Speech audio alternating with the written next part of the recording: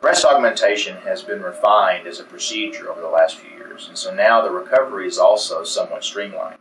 Most patients can expect to go back to an office job in three days.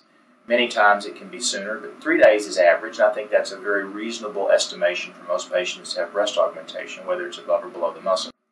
Typically, the night of surgery, you're moving your arms above your head and feeling fairly comfortable, having a normal dinner, and hopefully the next morning you wake up, you shampoo and shower. There's really no care for the incision. It's stitched and glued and taped in several uh, layers, and so there's no care except just simply putting your garment on the next morning and hopefully going about your normal duties.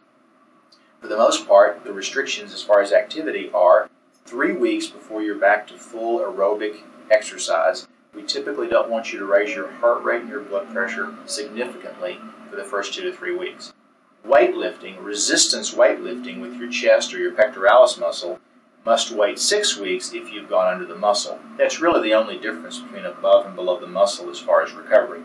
Most patients feel a little soreness and tightness in their chest when they're starting to go back to their normal activities, but that's pretty typical. Most patients feel like the recovery is much less than they'd expected, and again, two to three days is the most common time away from an office job.